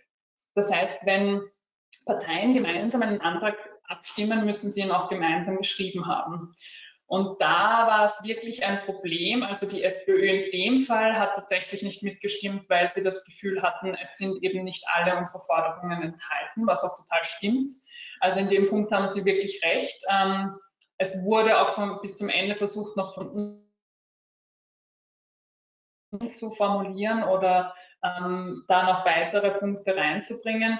Die Neos haben dann gesagt, die haben nämlich zuerst auch gesagt, dass sie nicht mitstimmen, haben dann aber gesehen, dass Grüne und ÖVP ihnen ein bisschen entgegengekommen sind, haben dann mitgestimmt, SPÖ hat nicht mitgestimmt. Die FPÖ war von Anfang an dagegen, gerade weil einige unserer Forderungen meiner Meinung nach aus einem falschen Verständnis der Forderungen aufgestoßen sind, also zum Beispiel ein Grundrecht auf Klimaschutz in der Verfassung, ähm, das sie total abgelehnt haben, weil sie gemeint haben, dann können ja alle, alle klagen und dann wird ja nur noch auf Klimaschutz geachtet und alle anderen Grundrechte und Menschenrechte werden irgendwie über Bord geworfen, was überhaupt nicht stimmt, was jeglicher Grundlage, juristischer Grundlage entbehrt, weil ein Grundrecht nicht ein anderes aushebelt, sondern gleichzeitig mit anderen existiert ähm, und eben da erstmalig eigentlich ein, ein, ein Fokus drauf gerichtet wird. Ähm, ähnliche ähm, verstandene Forderungen gab es von der FPÖ in vielerlei Hinsicht. Wir haben zwar versucht, mit allen Parteien gleichermaßen zu reden und auch Aufklärungsgespräche zu führen. Da muss ich aber ehrlich sagen, ähm, dass von der FPÖ selber am wenigsten Interesse kam und wenn Interesse gekommen ist, ähm, sehr viel auf ganz wissenschaftsfernen Grundlagen diskutiert wurde, also eben eher aus der Emotion heraus, so das wird eben dann alle Freiheitsrechte aushebeln, was nicht stimmt. Und dann ist es irgendwie schwierig, dagegen vorzugehen. Ähm, bei der SPÖ war es eben ein schwierigeres Thema, weil es ähm, darum ging, welche der Forderungen werden da jetzt drinnen ähm, umgesetzt und welche nicht. Wir haben auch mehr oder weniger verhalten ähm, auf den Antrag reagiert, weil eben nicht alle unsere Forderungen drinnen sind und selbst die, die drinnen sind, ein bisschen abgeschwächt drinnen sind, wie das Grundrecht auf Klimaschutz in der Verfassung zum Beispiel, da stand nur, es soll ein Gutachten geben, wie man das im Gesetz verankern kann. Jetzt gibt es dieses Gutachten, aber ein Grundrecht kommt wahrscheinlich trotzdem nicht in Frage. Also das ist, genau, das ist eben so ein Ding, das man immer abwägen muss. Dankeschön. Äh, es ist jetzt eine zweite Frage, ich würde aber zuerst gerne nochmal bei dem Thema kurz bleiben, äh, weil du ja sehr anschaulich äh, äh, dargelegt hast, die ganzen Vorteile, wenn man ähm, klimafreundlich handeln will oder wenn man das umbauen will und äh, welche Nachteile das auch hat, die wir jetzt zurzeit tragen. Ähm, wenn das so viele Vorteile sein und so viele Nachteile mit sich hat, da kommen dann später noch auf eine zweite Frage zu den Kosten. Ähm, warum geht nichts weiter? Ist das nur die FPÖ? Nein, das wäre viel zu, viel zu einfach als Grund und dann würde auch jetzt was weitergehen, weil die Regierung hat ja eine Mehrheit im Parlament. Ähm, es sind verschiedene Sachen tatsächlich. Ich glaube, eines der wichtigsten Punkte sind ähm, sehr veraltete Interessen in unserem Wirtschaftssystem. Ähm, also wenn man sich anschaut, wer relativ konstant Klimaschutzmaßnahmen ausbremst, sind das die Interessensvertretungen allen voran die WKO. Ähm, und das bedeutet jetzt nicht, ich will damit nicht sagen, dass die Wirtschaft nicht ähm, klimafreundlich wirtschaften könnte oder dass es nicht einige Unternehmen gibt, die da sogar nach vorne gehen. Es gibt sogar innerhalb der Wirtschaftskammer jetzt einen ziemlich großen Kampf darum, weil sich einige Unternehmerinnen und Unternehmer nicht mehr vertreten fühlen von der Wirtschaftskammer. Aber eben, die sind noch sehr in dem alten Denken verhaftet, wo eben zum Beispiel beim, äh, bei der Veröffentlichung, des, nicht Veröffentlichung, es wurde das Klimaschutzgesetz, der erste Entwurf wurde geleakt an Standard- und Kronenzeitung. Einen Tag später steht Karl-Heinz Kopp vor der Kamera, ähm, einer der, der, ähm, äh, der Chefs von der Wirtschaftskammer und sagt, das ist ideologische Bestrafungsfantasie der Grünen. Ähm, jetzt bei der Steuerreform, ähm, nachdem das veröffentlicht wurde, zwei Tage später, ähm, Harald Mara, äh, ebenfalls äh, Geschäftsführer vom, von der Wirtschaftskammer, er stellt sich nach vorne und sagt, er habe eigenhändig das Dieselprivileg aus, rausverhandelt aus den Verhandlungen, als, als ob das irgendwie etwas wäre, wofür ihn nächste Generationen feiern könnten und nicht etwas, was eigentlich Klimaschutz ausbremst. Das heißt, es ist irgendwie noch ein sehr altes Verständnis, ein nicht nach vorne gerichtetes. Es sind auch die Interessenslagen schwierig, weil natürlich baut unser Wirtschaftssystem seit mehr als 100 Jahren auf fossilen Brennstoffen aus und es muss sehr viel transformiert werden, aber da sind auch eben sehr viele Bremselemente in dem System, weil wir müssen ja so viel eben transformieren. Das heißt, ich glaube, das ist der, der größte Grund. Ich glaube aber, ein Mitgrund ist eben auch, dass viele Dinge ähm, viele Politikerinnen und Politiker noch nicht den Mut gefunden haben, diese positiven Zukunftsvisionen erstens zu zeichnen und auch konsequent zu handeln danach. Man sieht in vielen anderen Städten, eben zum Beispiel Paris, ähm, dass sie jetzt ähm, äh, Parkplätze auflösen, äh, dort Bäume hinstellen, in äh, Barcelona mit den Superblocks, also verkehrsberuhigten Zonen in den Städten nähere zukunftsgerichtete Politik funktionieren kann, wenn man sich das traut. Bei uns ist die Politik aber verhaftet in eben eine, einem Diskurs des Bremsens, also eben äh, ehemaliger Bundeskanzler Kurz, der gesagt hat, ähm, eben Klimaschutz bringt uns, darf nicht mit Verzicht einhergehen und Verzicht ist eben so schlimm und wir werden zurückkehren in die Steinzeit, wenn das so geht. Da wird viel Angstmache betrieben vor diesen, ähm, vor dieser Klimawende. Okay, danke schön. Ähm, kannst du vielleicht ganz kurz nochmal auf die Folie gehen? Das ein paar eben überhaupt aufzuzeigen, dass es so viele Vorteile für uns hat. Und ich glaube, da ein paar Aspekte ja. Entschuldigung, ich, glaub, ich wollte jetzt nicht unterbrechen bei der Beantwortung. Ich glaube, du warst noch ganz kurz weg, Katharina. Ähm, und das sind ein paar dieser Aspekte, die, die Klimaschutz einfach bremsen in Österreich. Okay. Dankeschön.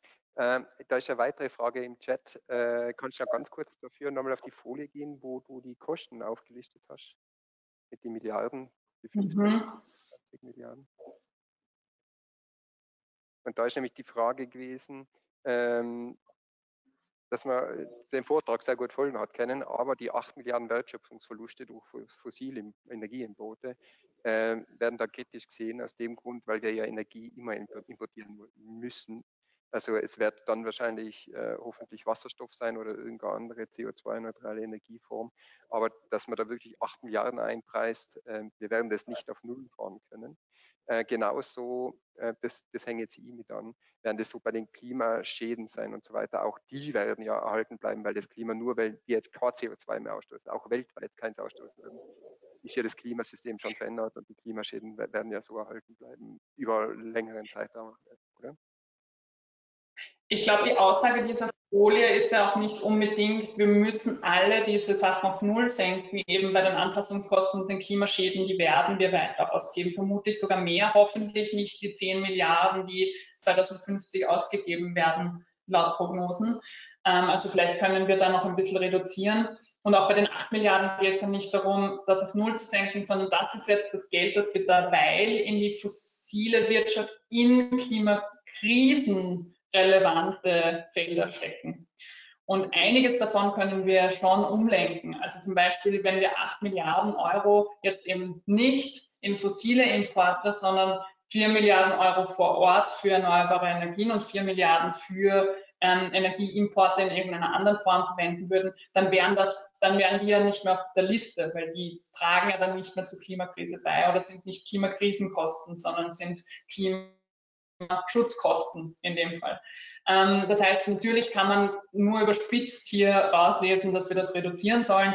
Ich glaube auch die 4 Milliarden klimaschädigenden Subventionen zum Beispiel kann man nicht alle streichen. Ein paar davon muss man ökologisieren, wie zum Beispiel die Pendlerpauschale.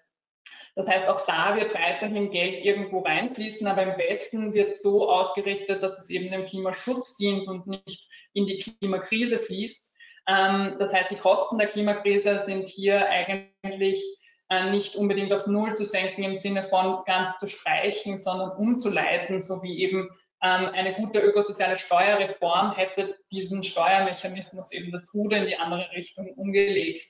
Und wir bräuchten ja auch nur 4 Milliarden Euro pro Jahr als Investitionen in Klimaschutz. Das heißt, diese 24 Milliarden Euro, die ich da hochgerechnet oder die das CCCA hochgerechnet hat für 2050, da geht es ja gar nicht darum, die 24 Milliarden jedes Jahr jetzt zu investieren, sondern im besten Falle all diese Kosten, die ich da aufgezeichnet habe, umzuleiten in klimaschützendes, beziehungsweise die Klimaschäden und Anpassungen werden wir noch immer weiter zahlen und einiges davon einfach vor Ort zu investieren. Dankeschön. Ähm, da ist gerade noch eine Frage äh, bezüglich zu, dem, zu den Klimabewegungen kämen.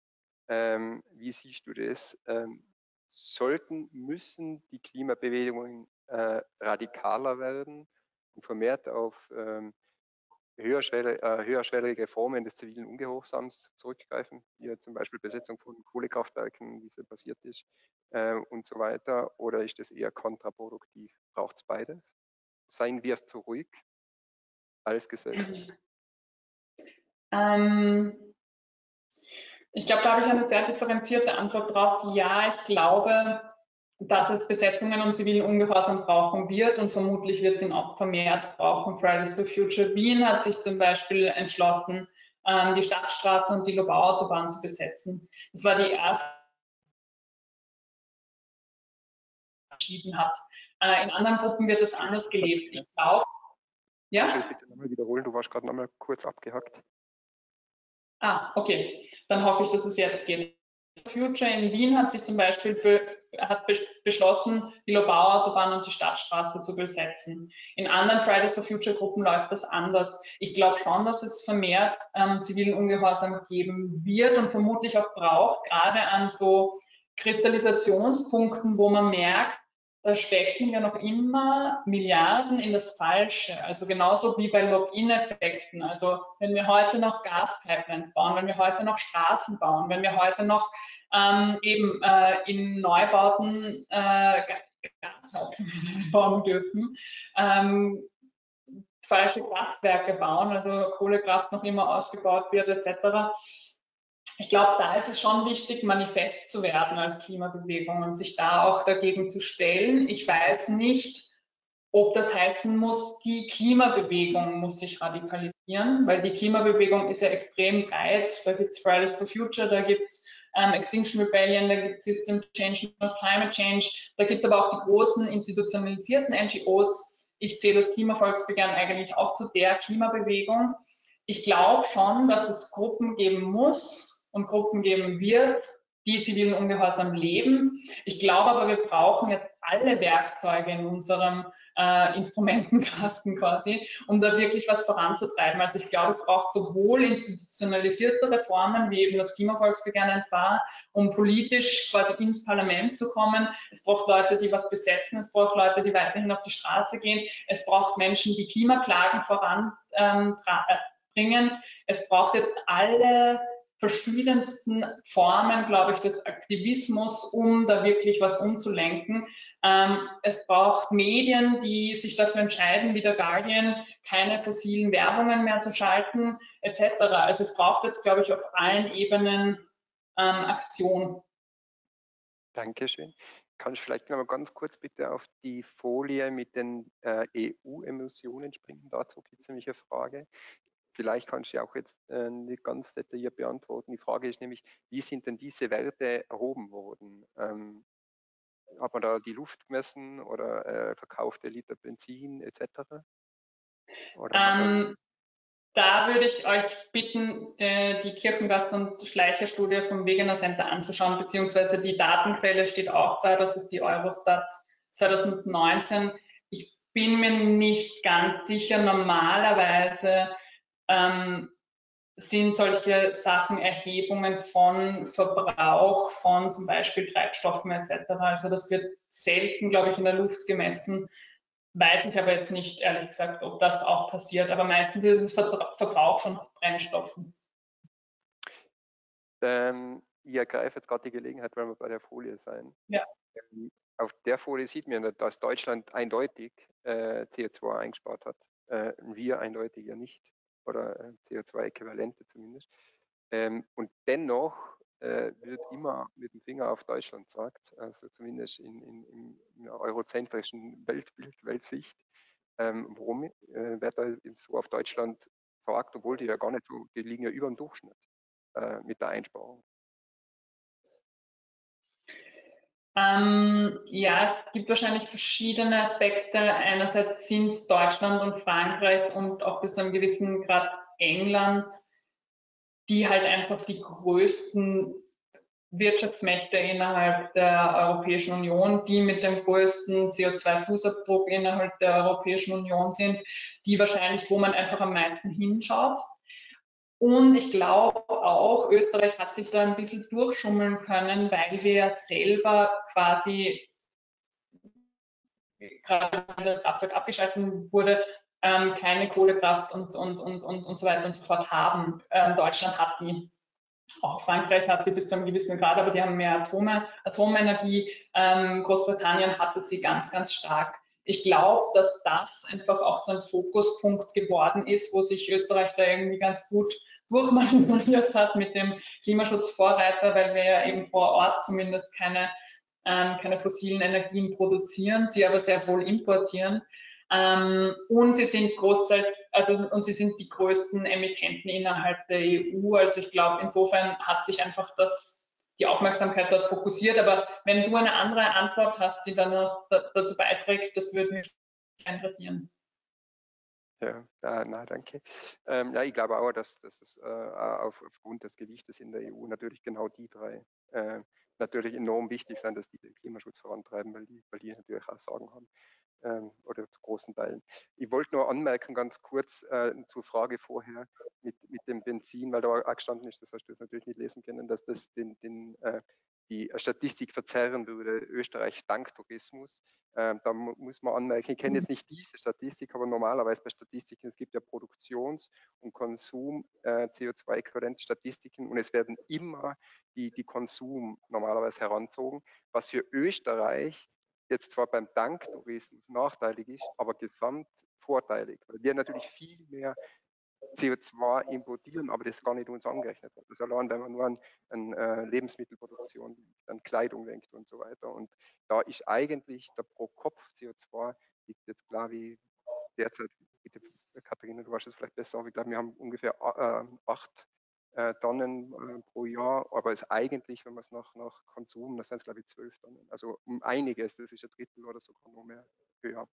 Ähm, deswegen glaube ich auch, dass bei der Statistik der Tanktourismus äh, nicht die, die Statistik, der Statistik so verzerren würde. Ja. Und selbst der Tanktourismus, ja, bitte. Ja, vielen Dank für den äh, spannenden Vortrag. Ich hätte auch noch eine äh, Frage und zwar, ähm, ähm, die schließt vielleicht ganz gut an unsere letzte Vorlesung, äh, Ringvorlesung äh, von Professor Kirchengast an. Sie haben ja bei der, äh, einer der ersten Folien auch das Thema CO2-Budget angesprochen, dass das ja sehr wichtig sei. Und genau die Thematik hat der Kirchengast ja aufgegriffen. Ähm, man kann das darstellen weltweit, ähm, europäisch, auf die einzelnen Länder runtergebrochen oder einzelne Firmen und Institutionen. Im Grunde könnte man das ja auch auf Personen runterbrechen. Also jeder Mensch hat einen CO2-Budget. Budget. Gibt es solche Ansätze auch schon oder in welcher Form könnte man sowas in, ähm, implementieren? Ähm, das hat, wurde vorher eh auch schon gesagt, es gibt ähm, ein CO2-Budget kann man jetzt schon ausrechnen. Das ist eben das, was wir jetzt verbrauchen.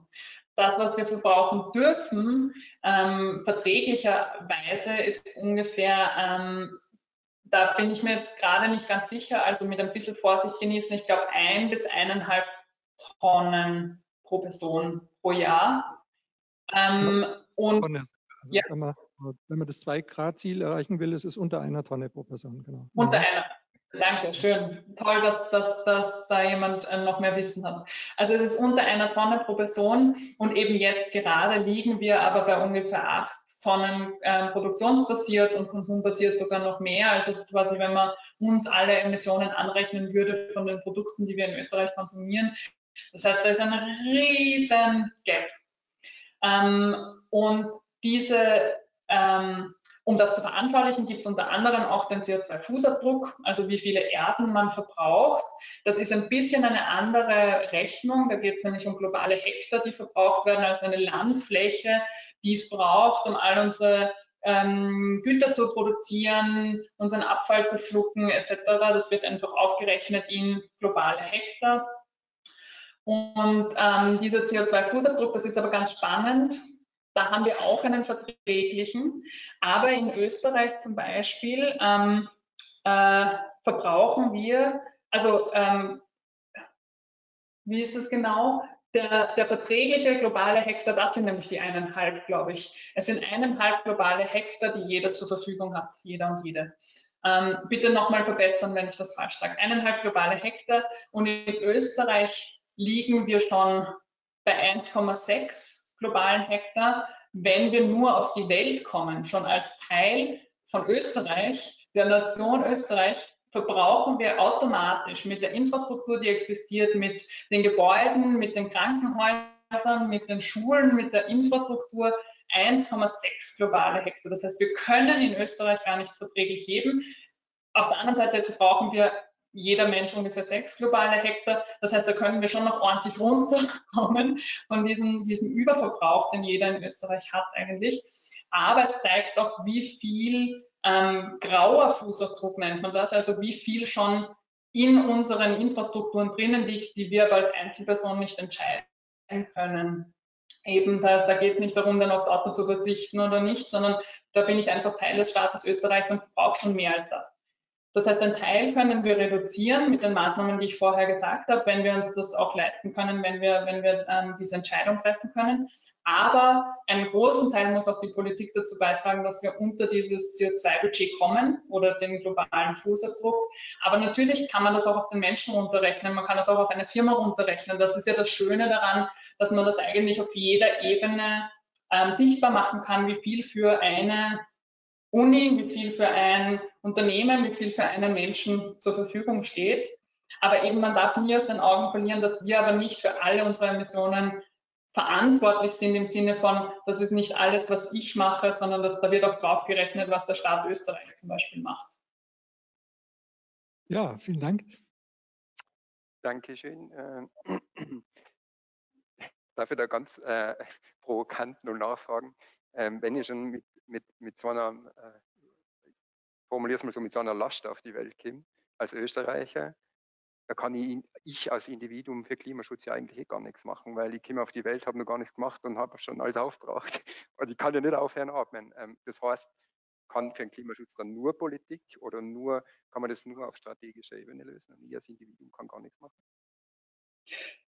Ich glaube, es ist nicht, es ist nie eine Entweder-Oder-Entscheidung. Eben für das, was über diesen, diese 1,6 äh, Hektar hinausgeht, da tragen wir ja sehr wohl was bei. Ähm, da heizen wir irgendwie, da kommen wir irgendwie von A nach B, da konsumieren wir irgendwie. Ähm, das ist etwas, was, was wir bis zu einem gewissen Grad in der Hand haben. Ähm, und da können wir viel reduzieren. Und außerdem ist es ja nicht immer linear. Wir können ja auch Vorbildwirkung haben. Also zum Beispiel, mir wurde gesagt, Mülltrennen hat an Schulen angefangen. Also man kann ja irgendwo mal vorleben und anscheinend wird das dann ja auch in die Politik über, übernommen. Ich will also gar nicht kleinreden, dass jeder und jede einen einzelnen Beitrag leisten kann. Aber wir machen immer mehr, wenn wir uns zusammenschließen. Das gilt auch im Konsum von Energie zum Beispiel. Ich kann mir zwar keine Photovoltaikanlage aufs Dach bauen, weil ich eben in einer Wohnung wohne, in einem Mehrparteienhaus, aber ich kann mich einer Energiegemeinschaft anschließen. Dann wird vielleicht woanders für mich Energie produziert, die ich quasi alle Quoten mitnutzen kann. Und zusätzlich aber eben zu diesen Dingen, an denen wir quasi nichts ändern können, zumindest nicht in unserem Konsumverhalten, können wir ja trotzdem was ändern, indem wir die Politik beeinflussen. Und das kann eben passieren durch Bewegungen, das kann passieren durch Wahlen, das kann passieren durch Volksbegehren, Petitionen.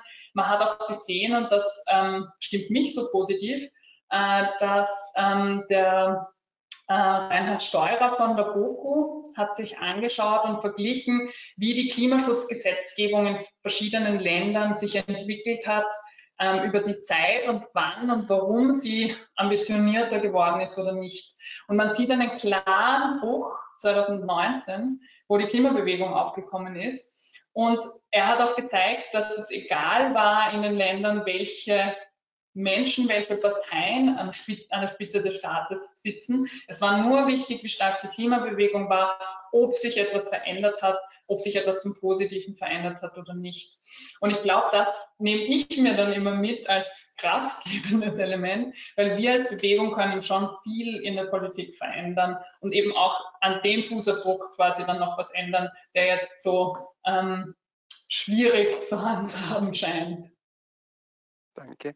Wenn ich dann kurz ergänzen darf oder nochmal kurz zusammenfassen darf. Ähm, ja, ich glaube auch, dass das strukturell angegangen werden muss und das kann nur Politik machen. Aber wir als Individuum haben, glaube ich, und wir haben das schon öfter gesagt in der Klimaschutz-Ringvorlesung, ich glaube, wir haben genau zwei Möglichkeiten. Zum einen die Stimme und zum anderen unser Geld. Und wir müssen überlegen, wo wir unsere Ressourcen hin einsetzen. Also mit der Stimme meine ich, ja, auf die Straße gehen und ja, was machen. Ähm, und auch wählen gehen, egal was man wählt, aber Hauptsache wählen gehen, das ist mal wichtig. Und dann das Richtige wäre ganz gut. Und auf der anderen Seite ja das Geld einsetzen. Es kommt schon darauf an, wo wir unser Geld anlegen und was wir damit machen. Ähm, Gibt es noch weitere Fragen? Ich schaue gerade im Chat. Nur weil ich das jetzt gerade auch im Chat sehe, ähm, ich finde nicht, dass das Abwälzung der Verantwortung ist, weil wie ich schon gesagt habe und wie ich auch in der Klimabewegung sehr viele Menschen kenne, wir versuchen ja durchaus auch etwas in unserem Leben zu verändern. Ich bin auch dem Zug nach äh, England gefahren. Ich habe beschlossen, nicht mehr zu fliegen. Ähm, ich esse seit meinem 16. Lebensjahr vegetarisch. Ich versuche Dinge zu reparieren und gebraucht zu kaufen.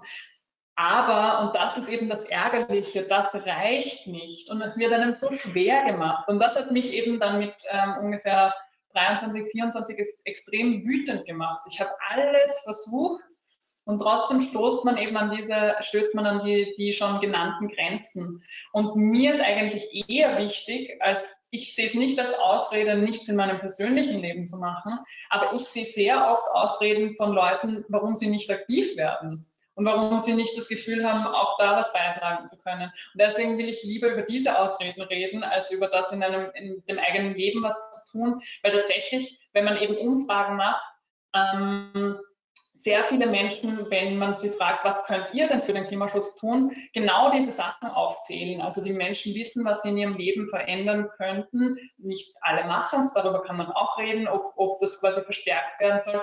Aber niemand äh, erwähnt die politische Ebene. Großteils, das hat sich auch mit Fridays for Future lustigerweise geändert, dass sehr viele jetzt auch Verantwortung bei der Politik sehen. Ich glaube nur, wir müssen oft dorthin schauen, wo am meisten Verantwortung abgewälzt wird. Und das war in den letzten 30 Jahren bei der Politik der Fall. Also da wurde ganz viel Verantwortung abgewälzt und wird heute noch abgewälzt. Nach China, nach Indien, weil Österreich ist ja so klein. Oder auf die höhere Ebene. EU muss was machen oder die untere Ebene, aber die Länder sind doch dafür verantwortlich und die Länder sagen, der Bund ist dafür verantwortlich. Also dieses Herumschieben an Verantwortung geht mir extrem auf die Nerven, deswegen habe ich das Gefühl, ich übernehme meine Verantwortung für den Teil, für den ich Verantwortung habe, aber die anderen müssen genauso für ihre Teile Verantwortung übernehmen und gerade die Politik hat hier einfach sehr, sehr große Hebel. Das ist das Einzige, was ich damit ausdrücken kann und will. Danke. Ähm, es gibt jetzt zwar noch eine andere Frage, die ich dann anschließend stellen mag, äh, vielleicht ein bisschen ausgebaut. Aber weil wir gerade dabei sind bei der Politik, eigentlich, was mir gerade eingefallen ist, eigentlich haben wir jetzt bis vor kurzem nur einen sehr jungen Bundeskanzler gehabt. Äh, ich würde sagen, dass wir generell eine relativ junge Bundesregierung oder äh, überhaupt ähm, Verantwortliche in, in, in, den Parteien haben, die relativ jung sind, äh, im Gegensatz oft zu anderen Ländern.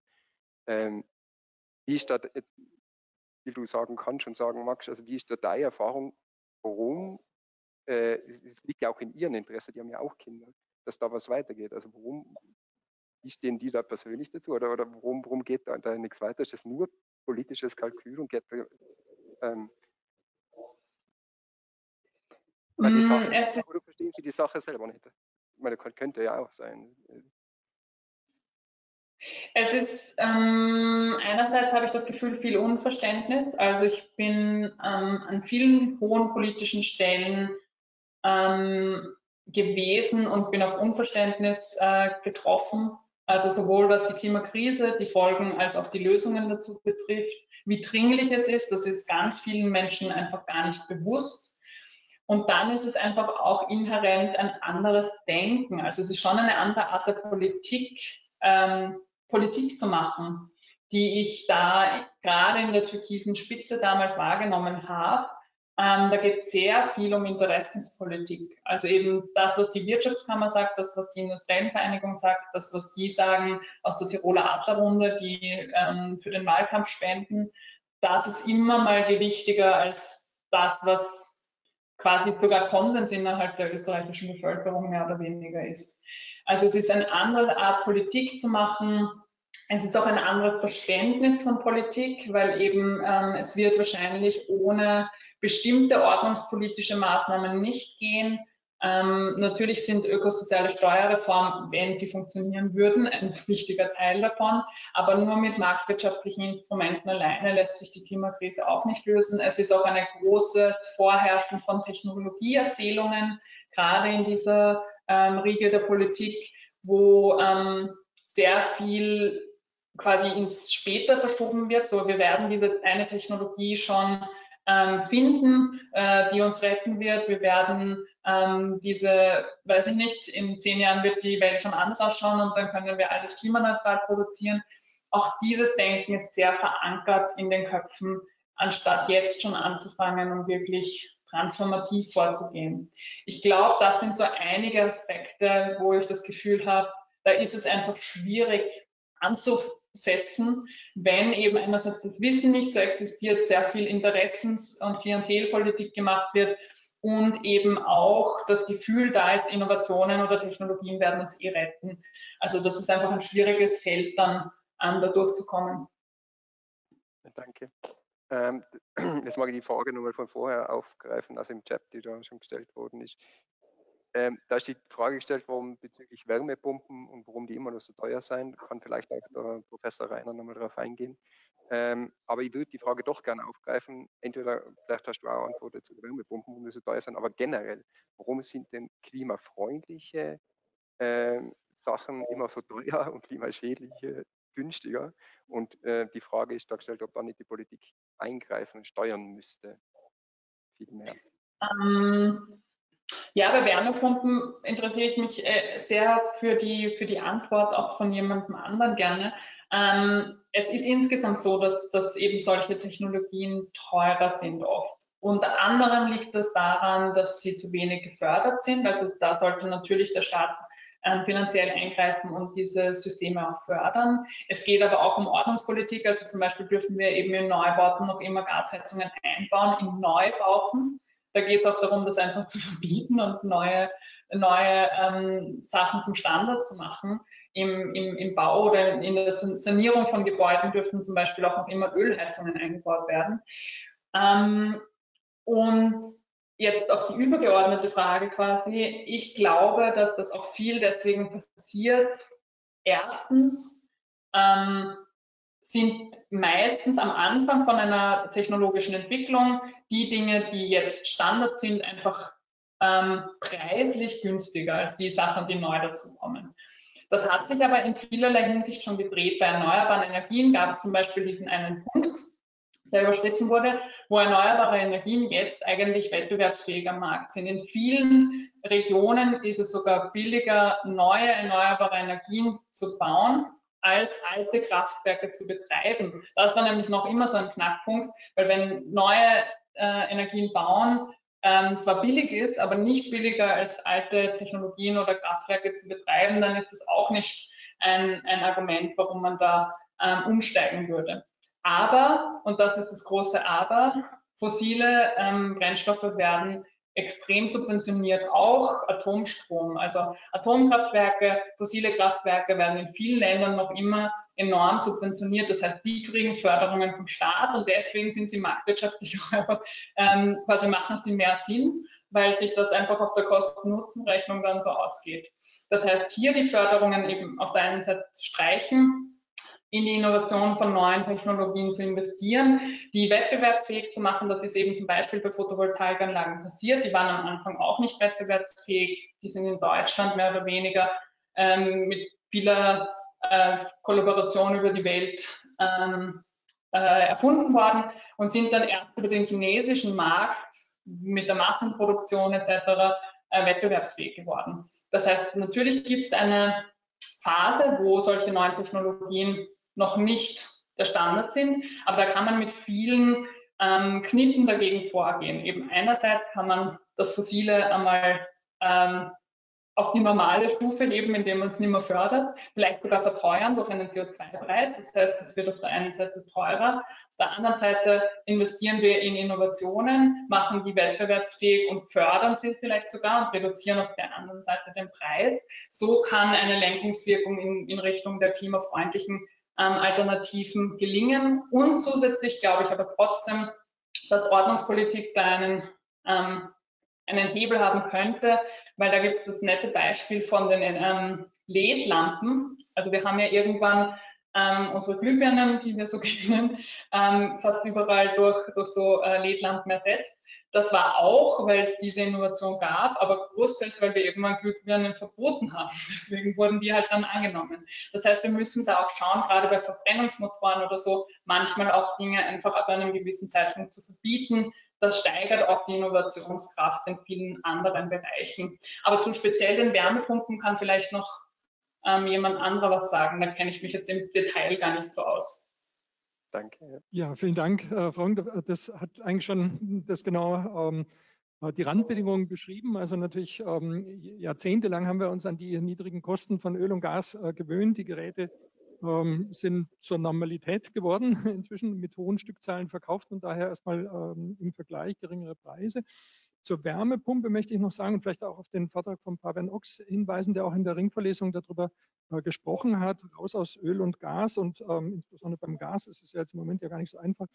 Da ähm, darf man sich nicht einfach vorstellen, dass man ähm, sozusagen ähm, das einfach tauscht, jetzt eine ähm, Gasheizung durch eine Wärmepumpe äh, ersetzt, sondern eigentlich ähm, die richtige Reihenfolge wäre erstmal auf Effizienz zu setzen, die äh, Heizlasten zu senken, also das ähm, Gebäude sehr gut Wärme dämmt, damit viel geringere Leistungen hat, damit hat man viel kleinere Geräte und äh, die sind sparsamer, aber auch kostengünstiger in der Anschaffung. Also das sind dann wirklich kleine, leise Geräte, ähm, Mikrowärmepumpen kann man fast sagen, ja, und nicht einfach ein Ersatz einer äh, Hochleistungs-Gastherme, durch eine Hochleistungswärmepumpe. Und das, glaube ich, ist eher die Zukunft.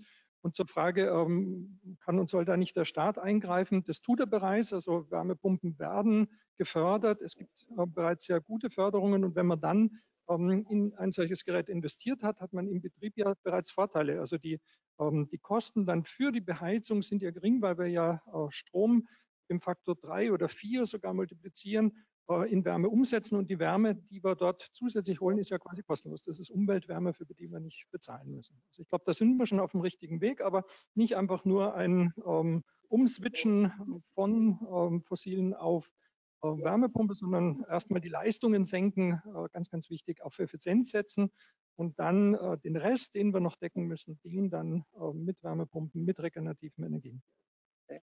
Danke, Rainer. Äh, und den Vortrag von Fabian Ochs, den findet äh, auf YouTube bei der Ringvorlesung, wo alle äh, Vorträge sein, die, die es interessiert. Eine letzte Frage noch. Ähm, Stichwort System Change nach Climate Change. Können wir Klima und unsere natürlichen Lebensgrundlagen innerhalb eines auf ewigen Wachstum ausgelegtes Wirtschaftssystems überhaupt aufbauen? Tolle Frage. Ähm, da gab es vor kurzem äh, sehr gute Metastudien dazu. Metastudien sind Studien, die quasi das aktuelle Wissen in dem Bereich mehr oder weniger zusammenfassen.